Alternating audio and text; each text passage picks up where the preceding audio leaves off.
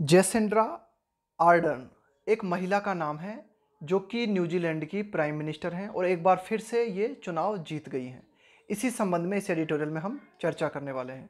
The Triumph of hope, कि भाई ये जो जीत है ना, द ट्रायम्फ ऑफ़ होप, कि भाई ये जो है उम्मीद की जीत है, ये लिखा हुआ है इसमें एडिटोरियल में, जो टाइटल दिया गया ना, द ट्रायम्फ ऑफ़ होप, कि भाई जेसेंड्रा आर्डन की जो जीत है, ये जीत, उम्मीद की जीत है। आगे देखते हैं। Inclusive politics and decisive governance inclusive politics का मतलब होता है समावेशी राजनीति। समावेशी राजनीति का मतलब होता है कि हर तबके के लोगों को राजनीति में शामिल करना। उसे बोला जाता है इंक्लूसिव पॉलिटिक्स यानी गरीब, अमीर, छोटे, बड़े, है ना, हर तरह के लोगों को जो है साथ लेके चलना। उन्हें कहा जाता है, उस, इस तरह की राजनीति को कहा जाता है inclusive politics and decisive governance निर्णायक सरकार, है ना? निर्णायक शासन करने की जो पावर होती है ना किसी भी सरकार की डिसाइसिव गवर्नेंस का मतलब होता है निर्णायक शासन कि भाई जो फैसला ले लिया, सो ले लिया। Won another term for Ardern in New Zealand तो इन चलते इन मुद्दों के चलते ये दो कारण रहे मुख्य। डिसाइसिव डिसाइसिव का मतलब होता है निर्णायक और गवर्नेंस का मतलब है शासन। कि एक तरीके से आप ये कह सकते हो कि जेसिंडा आर्डन जो है, उनमें शासन करने की जो एबिलिटी है ना वह एक एबिलिटी एक डिसीज़न पावर जो होता है ना, एक डिसीज़न मेकिंग लीडर होता है ना, वैसी क्वालिटी है उनमें। तो ये दो कारण रहे। कौन कौन से? इंक्लूसिव पॉलिटिक्स और डिसाइसिव गवर्नेंस वॉन वॉन का मतलब है जीता। अनदर टर्म का मतलब है यहाँ पे अवधि, कि भाई वे अगले आने वाले सालों के लिए न्यूजीलैंड की प्राइम मिनिस्टर बनी रहेंगी। Another term for Ardern in New Zealand कि पहले तो थी थी ही ये न्यूजीलैंड की प्राइम मिनिस्टर अब दोबारा से जो है न्यूजीलैंड की प्राइम मिनिस्टर बन गई हैं। तो दूसरी अवधि के लिए जेसिंडा आर्डन न्यूजीलैंड की प्राइम मिनिस्टर बन गई हैं और वे बनी हैं खास करके इंक्लूसिव पॉलिटिक्स और डिसाइसिव गवर्नेंस के चलते। जेसिंडा आर्डन वाज एक्सपेक्टेड भाई ऐसी उम्मीद थी to win Saturday's parliamentary election in New Zealand कि भाई ये जो शनिवार को संसदीय चुनाव न्यूजीलैंड में हुए, है ना? तो ऐसी उम्मीद थी कि भाई जेसिंडा आर्डन जो है वे चुनाव को जीतेंगे। क्यों जीतेंगी? गिवन देखते हुए, इस बात को ध्यान रखते हुए that almost all opinion polls कि भाई ये जो ओपिनियन पोल्स होते हैं ना ओपिनियन पोल्स का मतलब क्या होता है? ओपिनियन पोल्स का मतलब होता है कि ये जो सर्वे कंडक्ट किए जाते हैं ना, कि भाई चुनाव हो गए, कि भाई देश में जो है चुनाव हो रहे हैं तो इन चुनाव में किसके जीतने की उम्मीद है, किसके हारने की उम्मीद है, इन्हें कहा जाता है ओपिनियन पोल्स है ना, कि ये जो विचार होते हैं ना। तो ओपिनियन पोल्स का यही कहना था कि भाई जेसिन डार्डन जो है, वे चुनाव जीतेंगे ना गिवन इस बात को ध्यान में रखते हुए दैट ऑलमोस्ट ऑल कि लगभग सारे ओपिनियन पोल्स का यही कहना था हैड प्रेडिक्टेड प्रेडिक्ट का मतलब होता है भविष्यवाणी करना। कि भाई सारे की सारे ओपिनियन पोल्स ने इस बात की भविष्यवाणी की थी, है ना? कि भाई जो है जेसिन डार्डन ही जीतेंगे। This for the forty year old global liberal icon चालीस साल की है ये। और वैश्विक आइकॉन आइकॉन का मतलब क्या होता है? आइकॉन का मतलब होता है एक तरीके से एक इस, एक विशेष नमूना, है ना? ग्लोबल लिबरल कि भाई एक तरीके से इनकी जो इमेज है ना, यहाँ आइकॉन से मतलब समझ सकते हो कि भाई इनकी जो इमेज है, वह एक वैश्विक उदारवादी नेता की है। आगे देखते हैं। नोटेड और जेसिंडा आर्डन जो है, इन्हें जाना जाता है। नोटेड का मतलब है जाना जाता है। किस बात के लिए? फॉर हर इंक्लूसिव पॉलिटिक्स अपनी समावेशी राजनीति के लिए and tough handling of the corona virus pandemic और इन्होंने क्या किया? ये जो कोरोना वायरस था ना, इसको बहुत ही मज़बूत तरीके से हैंडल किया, है ना? टफ हैंडलिंग का मतलब है कि भाई जो कोरोना वायरस था, उससे निपटने में इन्होंने जो है, बहुत ही बेहतरीन जो है, आप कह सकते हो, अपने निर्णय इन्होंने लिए, बहुत ही बेहतरीन निर्णय लिए। Tough handling of the corona virus pandemic. Pandemic यानी वैश्विक महामारी। तो इन दो चीज़ों के लिए इन्हें खासकर जाना जाता है कि कोरोना वायरस से इन्होंने जो है न्यूजीलैंड को बहुत ही बेहतरीन तरीके से बचाया और समावेशी राजनीति की ये पक्षकार हैं। But it was the margin margin का मतलब है यहाँ पे अंतर ऑफ़ द विक्ट्री लेकिन जेसिंडा आर्डन को जो जीत हासिल हुई है ना मार्जिन मार्जिन का मतलब है कि भाई वो अंतर, जिस अंतर से ये जीती ना, वो अंतर काफ़ी चौंकाने वाला था. It was the margin of the victory that surprise many जिसने काफ़ी लोगों को आश्चर्य में डाल दिया, जिस अंतर से जीती, यानी कि बड़े ही विशाल अंतर से जीती हैं. Her centre left Labour Party इनकी पार्टी का नाम है लेबर पार्टी जेसेंडा आर्डन की पार्टी का नाम है लेबर पार्टी इन्होंने, इनको कितने प्रतिशत वोट मिले? 49.1 प्रतिशत इनकी पार्टी को वोट मिले। ऑफ़ द पॉपुलर वोट है ना? टोटल वोट के इतने वोट इन्हें मिले। एंड इज़ प्रोजेक्टेड और अब ऐसी उम्मीद है ना? ऐसा आकलन किया जा रहा है। प्रोजेक्ट का मतलब है कि भाई ऐसी उम्मीद की जा रही है, ऐसा आकलन किया जा रहा है। To take 64 seats in the 120 member parliament कि न्यूजीलैंड की 120 सदस्यीय संसद जो है, उसमें से चौंसठ सीट लेबर पार्टी के पास रहेंगी, यानी कि जेसिंडा आर्डन की पार्टी के पास चौंसठ सीट रहेंगी 120 में से। This is Labour's greatest victory अब ये जो जेसिंडा आर्डन की जो पार्टी है ना लेबर पार्टी है, ये लेबर पार्टी की बहुत ही बड़ी जीत है ग्रेटेस्ट विक्ट्री मतलब बहुत ही बड़ी जीत है इन ऑलमोस्ट फिफ्टी ईयर्स पिछले पचास सालों की अगर हम बात करें तो पिछले पचास सालों में पहली बार लेबर पार्टी को इतनी बड़ी जीत हासिल हुई है। And the biggest victory of any party since the nation adopted a proportional representation voting system in 1996 which gives assembly seats to any party winning more than five percent vote ये देखो, ये पूरी एक लाइन है, इसको, इसका मतलब समझते हैं कि ठीक है, एक बात तो हमें आई समझ में। This is Labour's greatest victory in almost fifty years कि भाई पिछले पचास सालों में लेबर पार्टी की ये सबसे बड़ी जीत है, और biggest victory of any party और न्यूजीलैंड में जितनी भी पार्टी हैं, उन पार्टी में से किसी भी पार्टी की सबसे बड़ी जीत है कब से? Since the nation adopted adopt का मतलब होता है अपनाना, है ना? कि भाई जब से न्यूजीलैंड ने अपनाया, क्या अपनाया? अ प्रोपोर्शनल रिप्रेजेंटेशन, एक आनुपातिक प्रतिनिधित्व, वोटिंग सिस्टम। भाई एक तरीके का इन्होंने क्या, एक वोटिंग सिस्टम अपनाया, है ना? कब? उन्नीस में।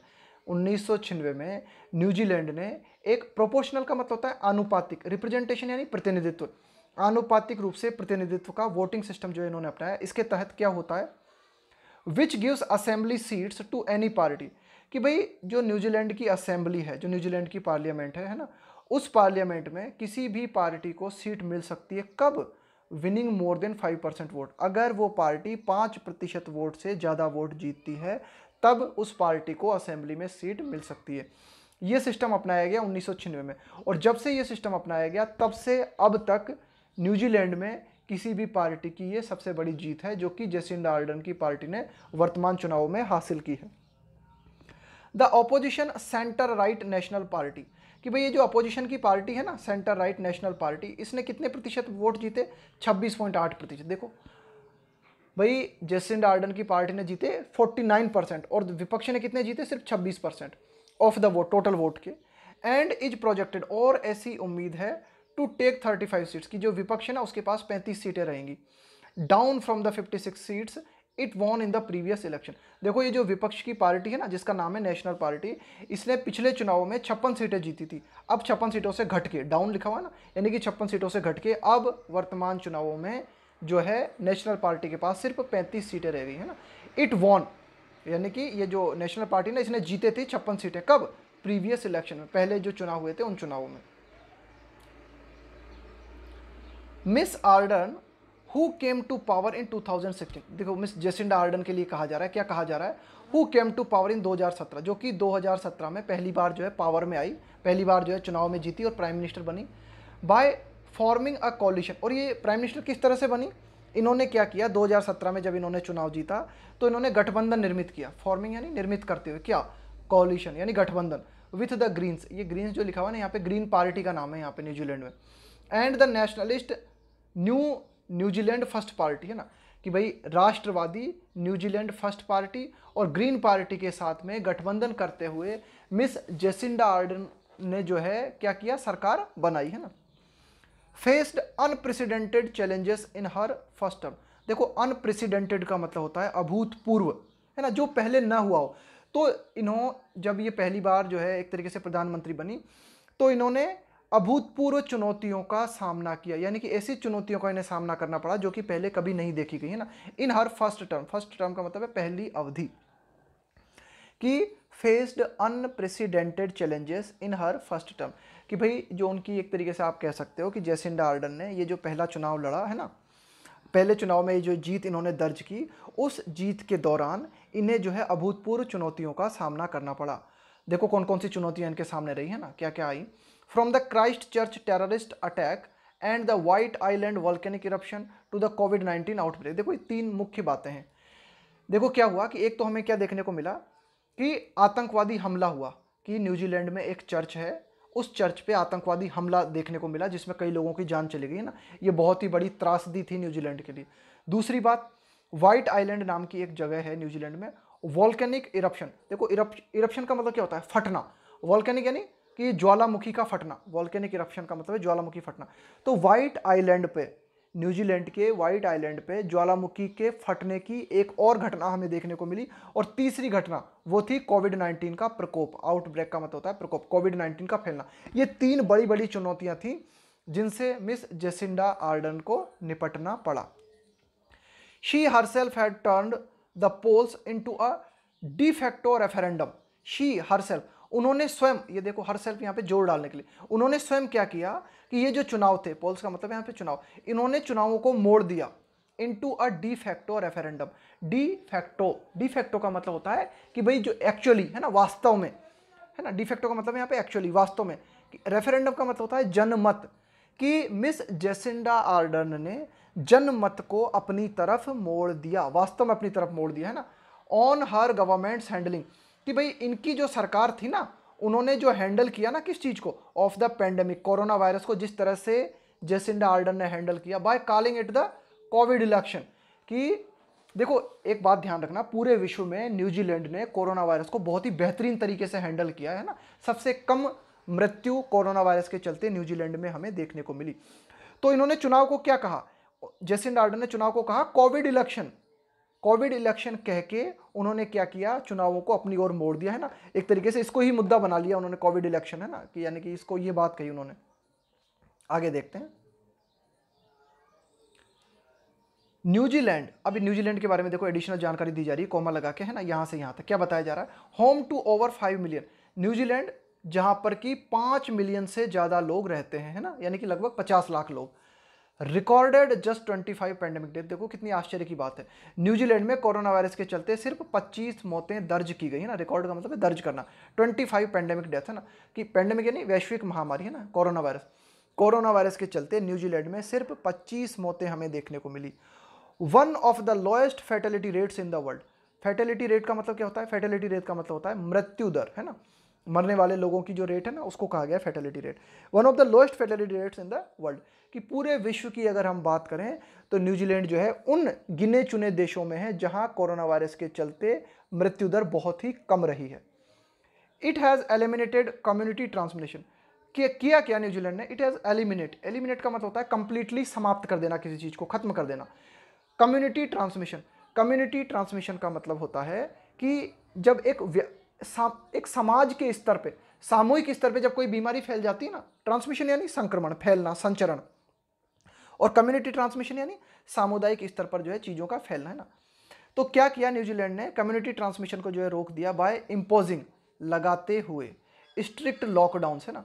कठोर लॉकडाउन को लागू करते हुए न्यूजीलैंड ने कोरोना वायरस के कम्युनिटी ट्रांसमिशन को रोक दिया एंड ब्रॉड बैक बैक का मतलब है वापस लाना।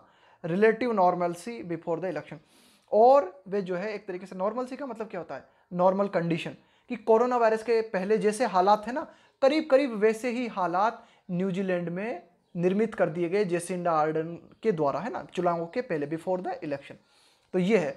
तो ये काम जो है, बहुत ही खतरनाक किया गया न्यूजीलैंड के द्वारा या फिर जेसिंडा आर्डन की सरकार के द्वारा। क्या किया गया कि बहुत ही कठोर लॉकडाउन लगाया गया और कठोर लॉकडाउन के माध्यम से कम्युनिटी ट्रांसमिशन को रोका गया कोरोना वायरस के और नॉर्मल कंडीशन चुनाव से पहले लाने की कोशिश की गई, है ना? लगभग लगभग रिलेटिव रिलेटिव का मतलब होता है तुलनात्मक रूप से कि आप ये तो नहीं कह सकते कि बिल्कुल नॉर्मल कंडीशन हो गई, लेकिन फिर भी काफ़ी हद तक नॉर्मल कंडीशन को वापस लाया गया चुनाव के पहले।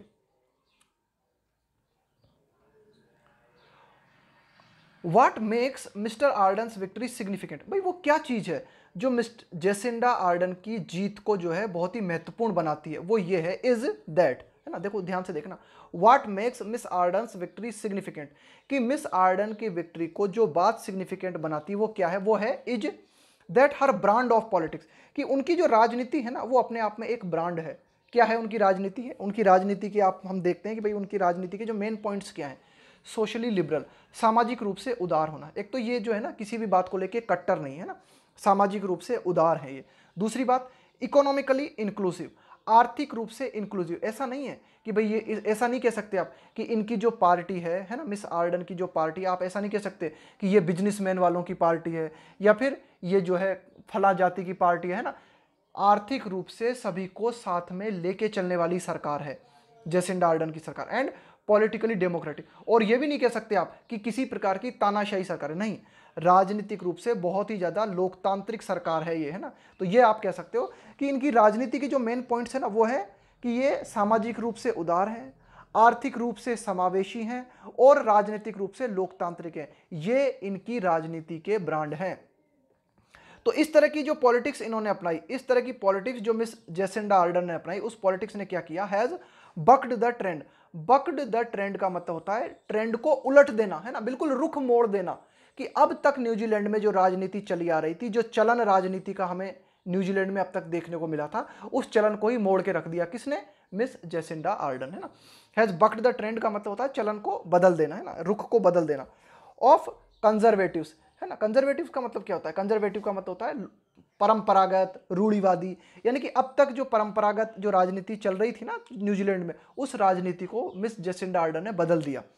And the anti immigrant anti minority far right parties, देखो न्यूजीलैंड में अब तक कौन सी कौन सी किस तरह की राजनीति चल रही थी? एंटी इमिग्रेंट कि भाई जो प्रवासी लोग आते हैं ना, इमिग्रेंट मतलब प्रवासी कि जो प्रवासी लोग न्यूजीलैंड में दूसरी कंट्रीज़ से आते हैं, उन, उनको भगाने की राजनीति ना, उनके खिलाफ राजनीति की जाती थी।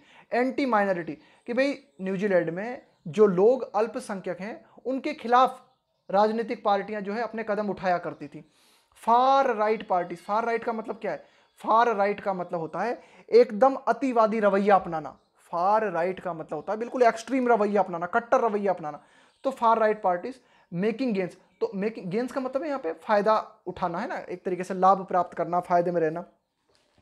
तो ये जो पार्टीज़ थी ना, जो कि एंटी इमिग्रेंट थी एंटी माइनॉरिटी थी फार राइट पार्टीज़ थी, ये तमिलनाडु में महत्वपूर्ण स्थान बना रही थी। Making gain in crisis ridden societies crisis ridden का मतलब है क्राइसिस रिडन सोसाइटी का मतलब होता है, एक ऐसी सोसाइटी जो कि संकटों से घिरी हुई है। क्राइसिस रिडन का मतलब होता है संकट में फंसी हुई।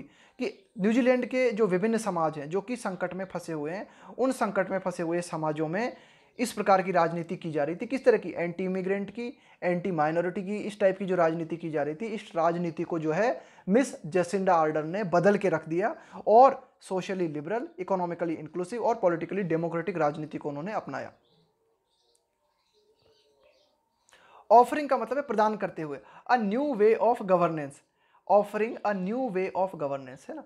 कि भाई offering a new way of governance कि भाई जो सरकार चलाने का एक एक तरीके से आप कह सकते हो उन्होंने नया तरीका जो है प्रस्तुत किया। ऑफ़र का मतलब है प्रदान करते हुए a new way of governance शासन चलाने का एक नया वे एक नया तरीका उन्होंने जो है प्रदान किया। She represented her Miss Jacinda Ardern ने अपने आप को प्रस्तुत किया। किस रूप में? एज एन एम्पेथेटिक को सिटीजन एम्पेथेटिक का मतलब होता है हमदर्द। को सिटीजन का मतलब है कि भाई, मैं भी आपकी ही तरह नागरिक हूँ, आपके साथ हूँ। को सिटीजन का मतलब है कि मिस जेसिंडा आर्डन ने अपने नागरिकों को ये दिखाया कि भाई, मैं भी आपकी तरह ही एक नागरिक हूँ और आपके साथ हूँ, आपकी हमदर्द हूँ। Who happens to be running the governance बस आप ये मानो, देखो इसका मतलब समझना ध्यान से। Who happens to be running the government उन्होंने जनता को ये दिखाया कि भाई, मैं भी आपकी ही तरह एक नागरिक हूँ। बस संयोगवश आप ये मानो कि मैं जो है गवर्नमेंट चला रही हूँ, वरना मैं भी आपकी ही तरह एक नागरिक हूँ और आपकी हमदर्द हूँ, है ना? हु हैपन हैपन का मतलब है जस्ट बाई चांस हो जाना। Who happens to be running the government कि भाई मैं सरकार चला रही हूँ, आप सरकार नहीं चला रहे, वरना मैं भी आपकी तरह ही एक नागरिक हूँ। इस तरह की बात उन्होंने लोगों को यकीन से दिलाई मतलब है ना? ये यकीन उन्होंने लोगों को दिलाया, है ना? आगे देखते हैं। This approach was successfully tested अब ये जो अप्रोच थी ना उनकी मिस जेसिंडा आर्डन की ये जो अप्रोच थी, कौन सी अप्रोच की? भाई, मैं भी आपकी हमदर्द हूँ, एक नागरिक हूँ, मैं भी आपकी ही तरह आपके साथ हूँ। तो ये जो दृष्टिकोण था मिस जेसिंडा आर्डन का वह सक्सेसफुली टेस्टेड इस दृष्टिकोण का परीक्षण हुआ। कब हुआ इस दृष्टिकोण का परीक्षण? When a far right terrorist far right का मतलब मैंने आपको बताया था, अतिवादी। जब एक अतिवादी आतंकी ने, है ना, जब एक कट्टर आतंकवादी ने open fire at two mosque जब एक कट्टर आतंकवादी ने क्या किया? एक तरीके से फायरिंग कर दी है ना, ओपन फायर का मतलब फायरिंग कर दी। कहाँ पर? दो मस्जिदों पर, है ना? ये मॉस का मतलब होता है मस्जिद, है ना? कि न्यूजीलैंड में दो मस्जिदों पर एक आतंकवादी द्वारा, एक कट्टर आतंकवादी द्वारा हमला किया गया, है ना? At two mosque in Christchurch, in March 2019 कि भाई क्राइस्ट चर्च नामक स्थान पे दो मस्जिदों में क्या किया गया? जो है एक आतंकवादी द्वारा जो है फायरिंग कर दी गई, हमला कर दिया गया आता है ना? और उस फायरिंग में जो है कितने? इक्यावन लोगों को मारते हुए। ये जो लिखा हुआ ना किलिंग फिफ्टी वन इसका मतलब है इक्यावन लोगों को मारते हुए। अब जब हम पूरी लाइन पढ़ेंगे ना तो इसका मतलब इस तरह से निकलेगा कि जब एक कट्टर आतंकवादी द्वारा दो मस्जिदों पर मार्च 2019 में हमला किया गया 21 आदमियों, इक्यावन आदमियों को मारते हुए, उस दौरान जो है हमें जेसिंडा आर्डन का टेस्ट देखने को मिला। मतलब जेसिंडा आर्डन का क्या टेस्ट देखने को मिला? हमें यह देखने को मिला कि वो कितनी बड़ी हमदर्द है, कितनी बड़ी को सिटीजन है। देखो क्या हुआ। She immediately reach out to the countries Muslim minority वह जो है जेसिंडा आर्डन तत्काल रीच आउट का मतलब है पहुँचना। Reached out to the countries Muslim minority कि भाई न्यूजीलैंड देश के जो मुस्लिम अल्पसंख्यक हैं, उन तक मिस जेसिंडा आर्डन तुरंत पहुँची। एंड बैक्ड और बैक्ड का मतलब होता है सपोर्ट करना, समर्थन करना। अब बिल, और तुरंत उन्होंने एक बिल को समर्थन दिया, है ना? कि भाई न्यूजीलैंड की जो एक तरीके से पार्लियामेंट थी ना न्यूजीलैंड की जो संसद थी, उसमें एक बिल तुरंत जो है पारित किया गया, उस बिल को सपोर्ट किया गया मिस जेसिन डार्डन के द्वारा। दैट बैंड उस बिल के तहत जो है बैन लगा दिया गया। Most assault style weapon assault का मतलब होता है हमला। वेपन का मतलब होता है हथियार। कि ऐसे हथियार, जो कि मतलब जो कि बहुत ही खतरनाक हथियार है ना, जो कि हमलावर हथियार है। असॉल्ट स्टाइल का मतलब होता है ऐसी स्टाइल के हथियार जो कि बहुत ही ज़्यादा खतरनाक है ना? जो कि एक तरीके से आप कह सकते हो, जो कि हमलावर हथियार हैं। उन हथियारों पर बैन लगाने को लेकर एक बिल पारित किया गया। उस बिल को मिस जेसिंडा आर्डर ने जो है सपोर्ट किया, है ना? तो ये बातें जो है हमें देखने को मिली कि हाँ भाई, वो वास्तव में कहती नहीं है, करती भी हैं। देखो, ये जो बात है ना, ये जो मार्च 2019 में घटना हुई थी, है ना, और ये लोग मारे गए थे तो उस दौरान मैंने देखा भी था, है ना बीबीसी न्यूज़ मैंने देखी थी, उस टाइम पे मैंने देखा था, इनको पहली बार मैंने इस लेडी को देखा था, और मुझे पसंद भी आई थी मुझे वास्तव में लगा था, मैंने कहा, यार, ये तो है वास्तव में, दमदार लेडी है। और ये वास्तव में पहुँची थी, मुस्लिमों तक पहुँची थी, अपनी बात को उन्होंने बहुत ही अच्छी तरीके से रखा था, स्पीच भी दी थी उन्होंने इस टाइम पे, है ना, अपनी हमदर्दी जताते हुए तो कुल मिला के हर नेता दिखाता ही है, जब इस तरह की कुछ घटनाएँ होती हैं, कुछ कांड हो जाते हैं, बड़े, हैं ना? हर नेता जो है हमदर्दी दिखाता है ना? तो इन्होंने भी दिखाई थी, लेकिन मुझे जो है अपील की थी इनकी हमदर्दी, है ना? मुझे काफ़ी अच्छी लगी थी इनकी हमदर्दी, है ना?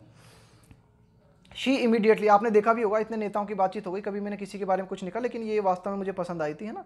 जेसिन डार्डन तो she immediately reach out to the countries Muslim minority and back the bill that banned most assault style weapon तो जिस दौरान ये हमला हुआ था, उस दौरान ये तुरंत की तुरंत ही मुस्लिम माइनॉरिटीज़ तक जो है पहुँची थी, मुस्लिम अल्पसंख्यक लोगों तक पहुँची थी।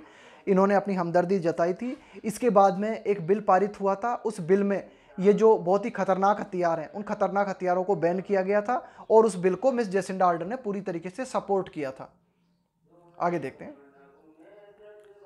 She has also promise to alleviate alleviate का मतलब होता है कम करना चाइल्ड पॉवर्टी कि भाई जो बच्चों से संबंधित जो गरीबी है ना चाइल्ड पॉवर्टी का मतलब है कि भाई जो गरीब बच्चे हैं है ना, जो मतलब एक तरीके से आप कह सकते हो कि जो गरीब बच्चे हैं, है ना, यानी कि बच्चों में जो गरीबी देखने को मिलती है हमें न्यूजीलैंड में, उस चाइल्ड पॉवर्टी को दूर करने का वादा भी मिस जेसिंडा आर्डन ने किया है।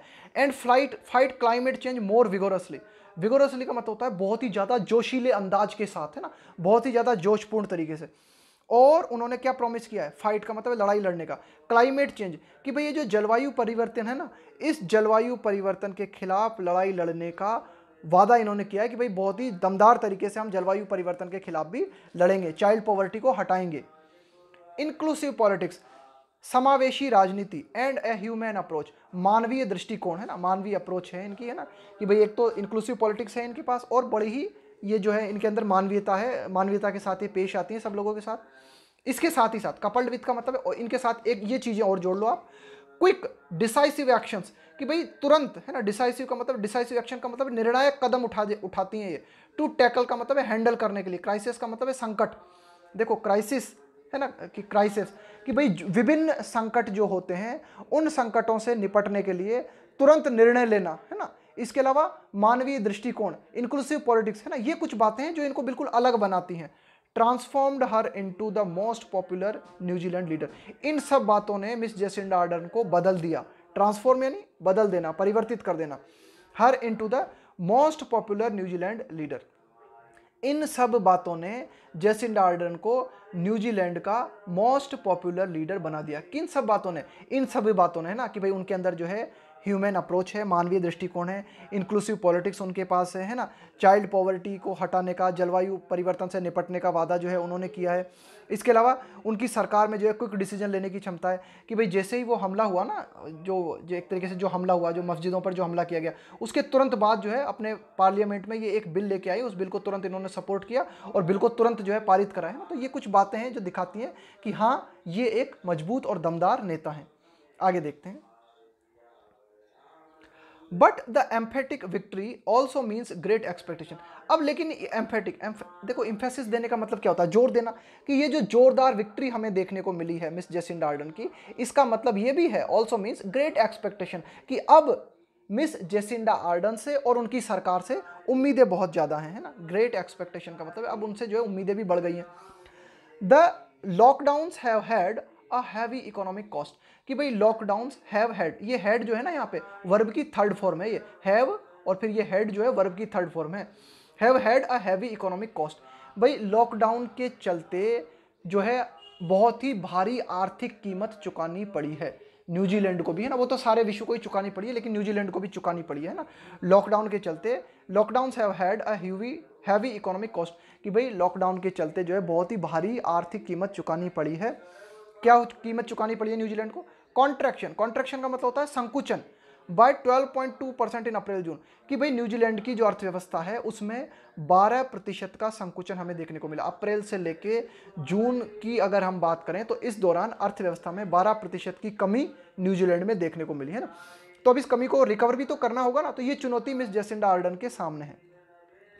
One of the criticism she faced during the campaign कि भाई कई सारी आलोचनाएँ, मिस जेसिंडा आर्डन को झेलनी पड़ी। उनमें से एक आलोचना है सी फेस का मतलब उन्होंने सामना किया ड्यूरिंग द कैंपेन अभियान के दौरान। वाज दैट वो ये थी she did not have a recovery plan कि भाई ये जो एक तरीके से अर्थव्यवस्था में ये जो कमी आई है ना, बारह प्रतिशत की अप्रैल से लेकर जून तक के बीच में।